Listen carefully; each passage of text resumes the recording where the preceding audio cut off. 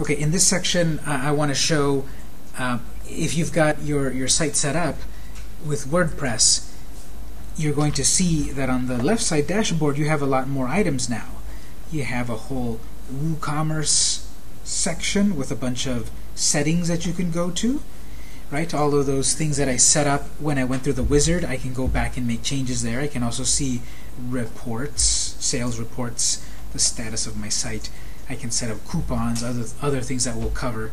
I have a brand new section for products. Here's where I can manage products. I'll go into that in detail in a moment. And what else? Okay, they've added a new MailChimp section.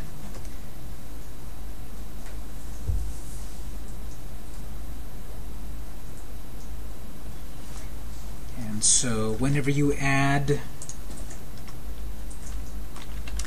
whenever you add a new theme or plugin, you often get new menu items which are new features. WooCommerce gives you a screen to manage settings and another to manage products. So I'm going to go to the products one for the moment. Uh, settings is um, a little too technical than I want to get into at the moment, but I, I, want to show here that I can start to create products uh, pretty fast. See here under products. Let's see, do I have any default products? No defaults, okay. So I can easily add a new product. Then we have these concepts of categories, tags, and attributes. Let me explain these. WooCommerce.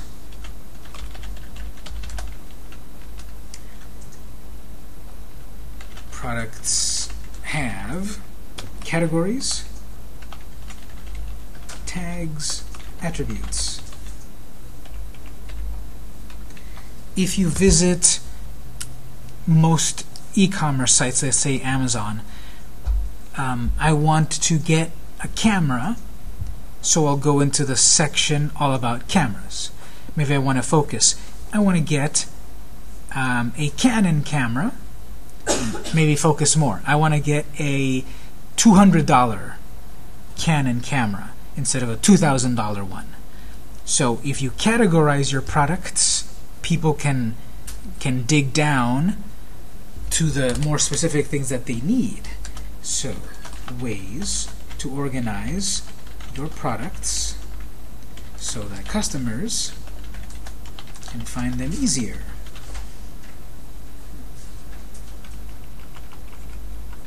Now let's say, yes. Is that like with Amazon, the little filters on the left that appear?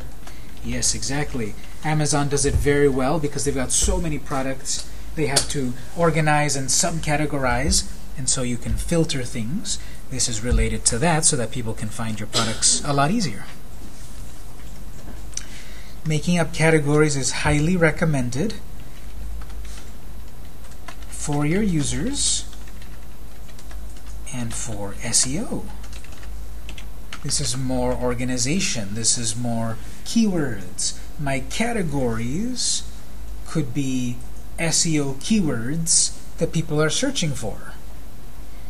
Now there, there's an art and a science and nuance to all of that, but once you kind of know this, that I can categorize and organize my site, like if I call it simply cookies, that might not be as valuable as organic cookies, if I'm selling organic cookies, of course. I'm not just going to shoehorn one keyword into a, into a product if it doesn't make sense. But um, I can organize all types of things in a category. So examples, cakes, cookies, sale, gluten-free treats. You know, I don't have to literally just cookies, cakes. I could put uh, an item in more than one category. I am selling cookies, so I've categorized it in cookies. But I also sell versions of those cookies that are gluten-free. So you can organize in multiple categories. What do you mean by sell? Um, I'm, th these things are on sale at the moment. You can categorize in multiple categories. So this one cookie could exist in the sale category as well as the gluten-free.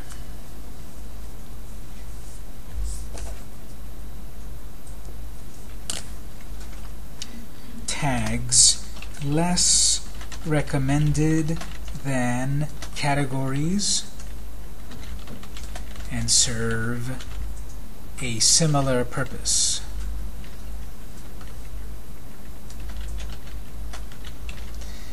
It's kind of confusing for beginners.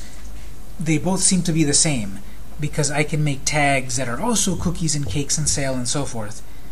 And what would be the difference between category and tag? The way I, I sort of explain it is a category is the big idea and then a tag is the little detail so more more um, more specific here. Cakes. So all or let's do pies. All of the pies that I'm selling all of the kinds of pies they all fall in that category. But then the details are that I'm selling pecan pie, apple pie, um, cherry pie, etc. So I have here three different tags. This product is tagged as a pecan pie, but also categorized as pies. So all pies are in one filter and then pecan pies, there's the two or three that I sell.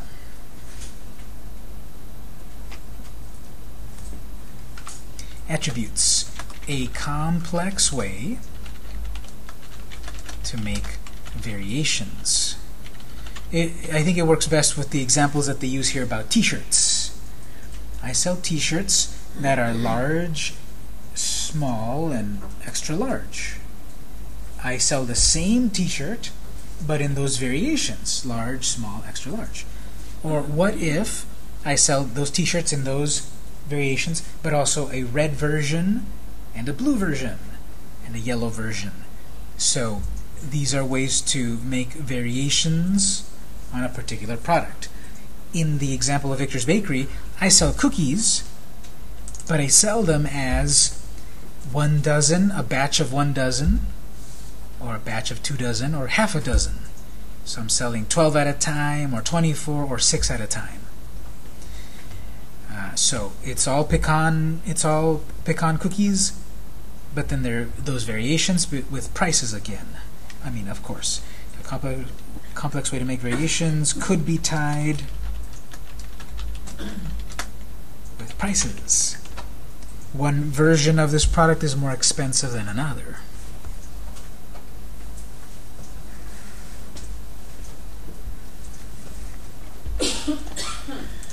So all of this is inside of this um, products section.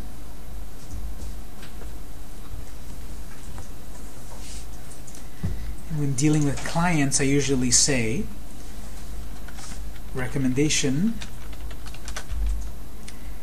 um, start defining your categories first. Then create products. Then add tags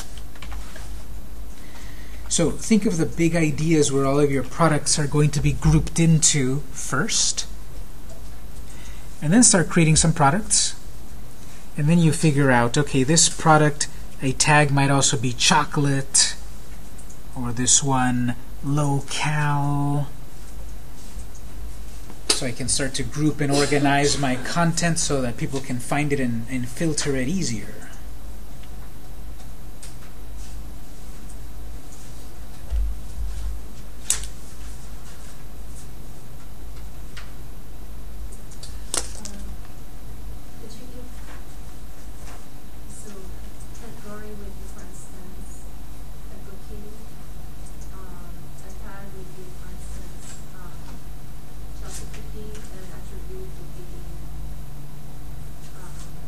One dozen, two dozen, half a dozen.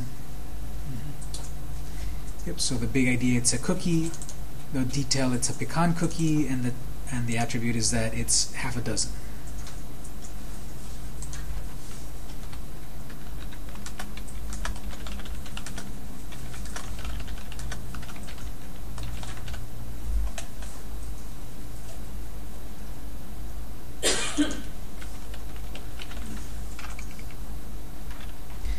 So uh, I would I'll show you that right now. If we go here to again, I would recommend first starting on category,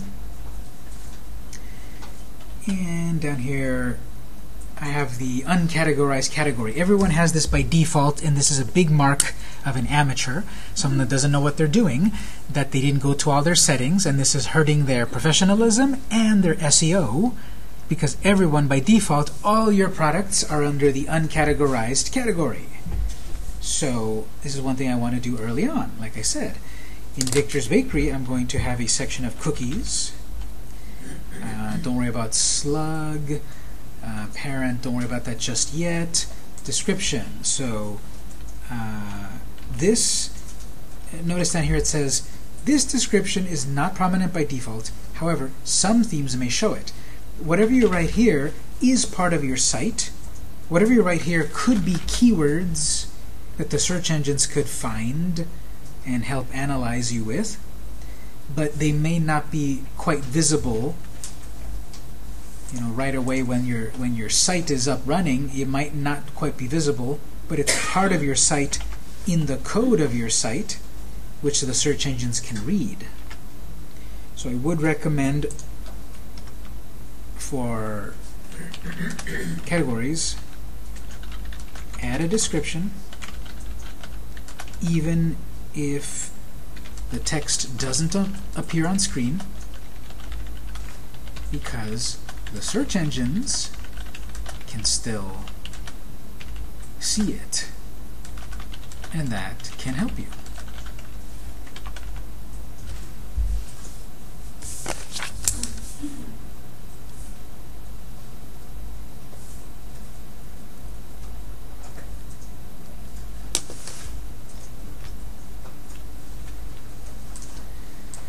So if I'm doing cookies, I will say um, authentic,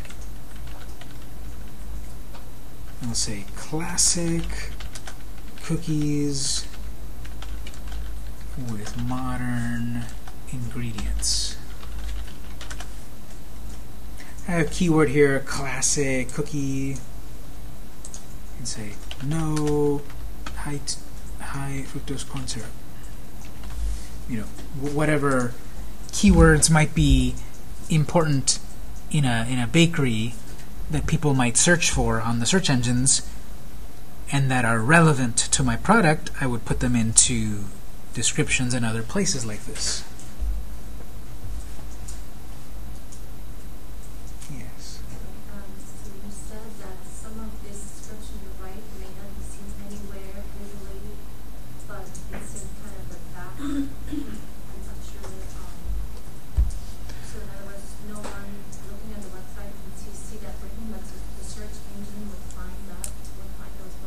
Yes, the search engine would still find it because it's part of the code of your website, and the search engines can read the code.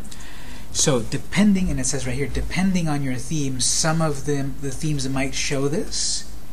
Even if it doesn't, the search engines can still see it. So this is a place for you to write some keywords to help your, your rankings. And whenever I talk about keywords, I do, however, stress more about writing complete sentences, not just writing cookie, comma, uh, tasty, comma, gluten free. You know, writing real, real sentences, not just keywords. Oops.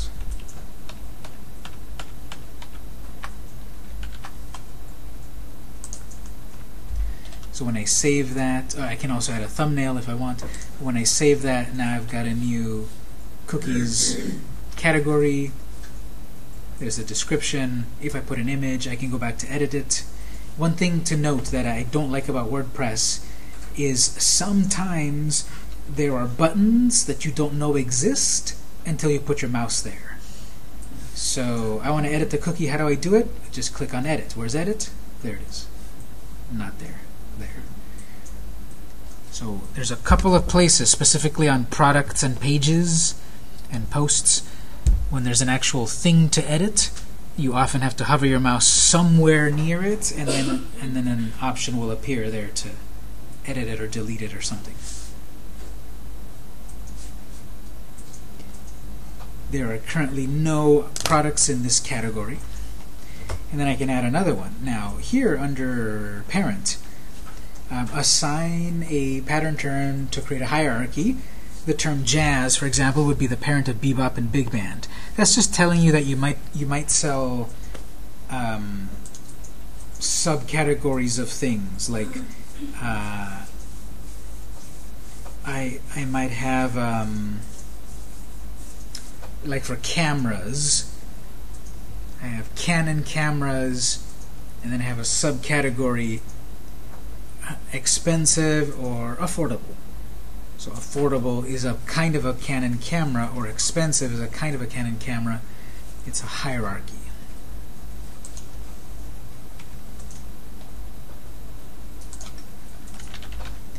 Do one more.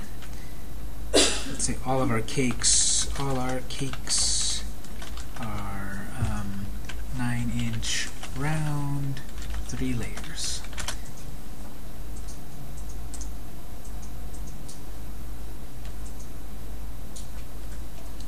So I've got I've got a new uh, category.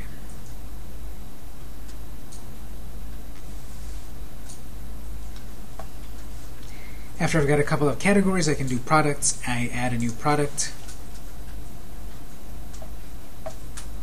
I have a spot for a product name, product description, etc.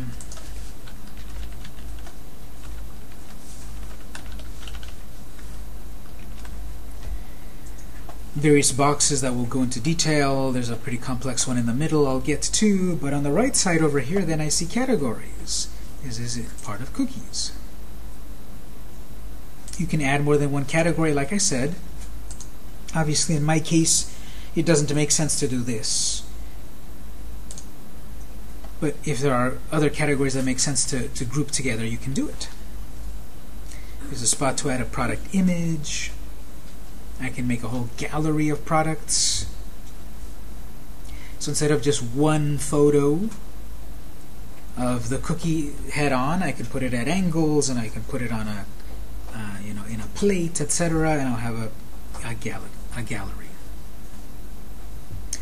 There's another spot for a shorter description. Maybe there's a preview before I see the whole text. Let's say main description.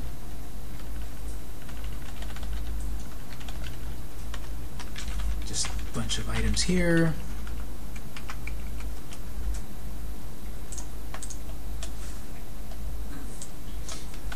Short description.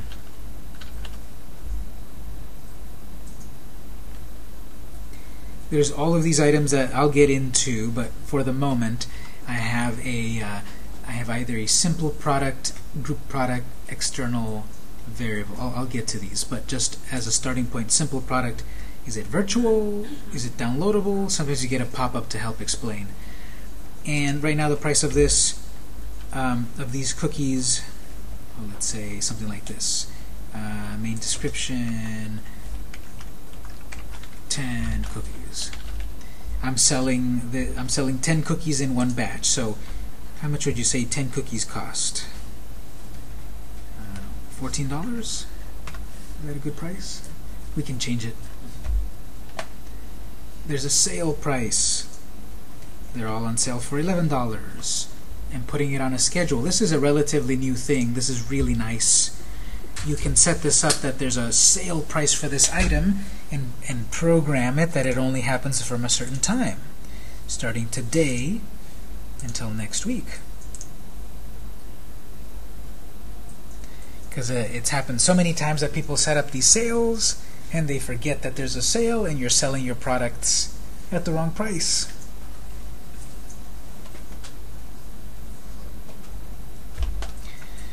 So is this item taxable? What's its other um, items here? We'll come back.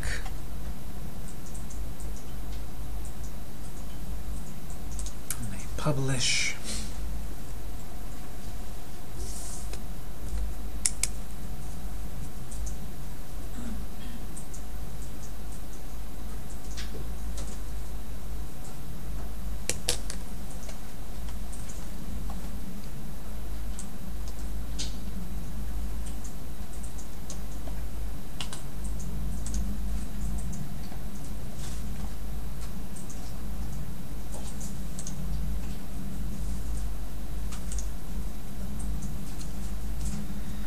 So it doesn't look very impressive because I didn't really add any pictures or anything like that, but in my shopping, in my catalog, I've got a product. Oh, look, it's on sale.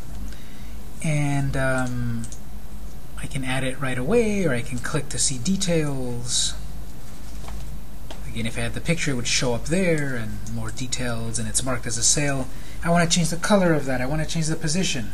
Depending on the features of the theme, you may be able to customize this. Depending if it's a free theme, you may be able to do some things or not. Oftentimes with the premium themes, you can do even more. This is where the short description would have appeared. Here's the long description. We have these features like, oh, there's a built-in way for people to review my product. So you see, it's pretty powerful. It's pretty powerful out of the box. A person can add it to their cart and they have this whole view cart already set up. And it looks like a real professional site. You even have the ability for coupons. It has live shipping if you set that up with Jetpack and so forth. But right now it's just doing a flat rate. And when I proceed, if I've got it set up for my payment method, um, you know, it will uh, it will ask me for that information and go through the whole process.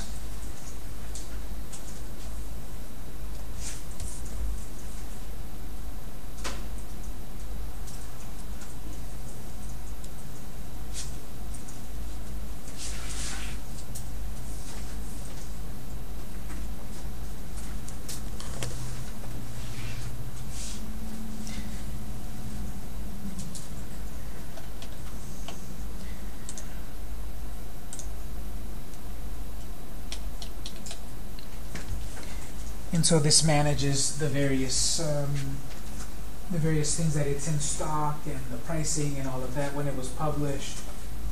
And again, I would like to edit that item, but I don't see an edit until I hover over it, and then I can go back to edit.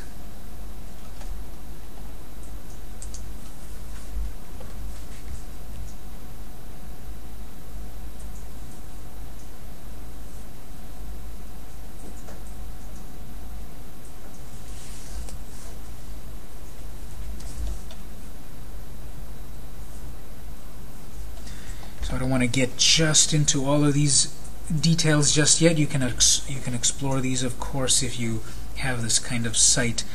Um, what I want, yes. Did WooCommerce give us the functionality with all these different aspects of a product, or WordPress already has that? This is all coming from WooCommerce. Okay, so since we, is it a, a plugin or extension? Or yeah, like I like I showed earlier when I went into plugins, I added the plugin. Yeah, yeah. So when I added the WooCommerce plugin, it automatically added up all of these new boxes and features that they don't they don't come with with WordPress. WordPress just has like the title of something and description, but then WooCommerce gives you all of these features about pricing and coupons and all of that, and that's the extra plugin, the extra feature we added to the WordPress.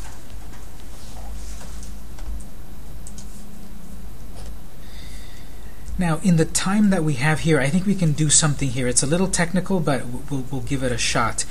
I'm showing all of this on on a WordPress site, and like I said, you have to uh, pay for this to have it on a real site, you know, victorsbakery.com.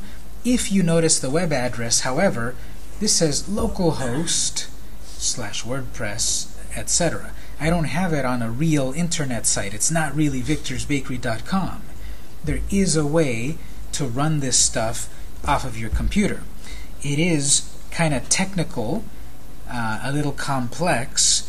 We're going to give it a shot as a class together to set this up because obviously you want to do this as well. I want to practice with WordPress and make it work.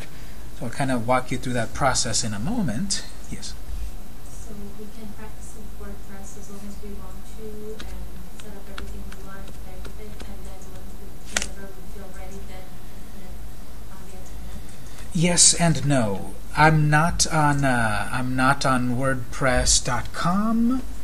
I'm not on WordPress.org or anything like that. I'm running on a virtual server, um, and I could, when I'm comfortable with this, transfer it to the real internet. This is not on the real internet. No one can access this. It's only on my computer. From yet, can I do that? Well, that's what I'm about to talk about. But this is what I'm saying that it is a, it is a little bit of a complex thing, and I'll show how to set it up. But you can, I can set this up right now on my computer, and I'll show us how to do it. And I could transfer it to the real internet, but it is really technical. So I think as a sort of a learning tool about how it works, I'll show how it works, but we're not going to quite have time to. How do I transfer it to the real internet? That we don't. We won't have time for that. That's per, perhaps also the help you can get from your from your service provider but I can start to show you here how to set this up to practice WordPress at your own computer because eventually you want to get it set up at your at your regular provider.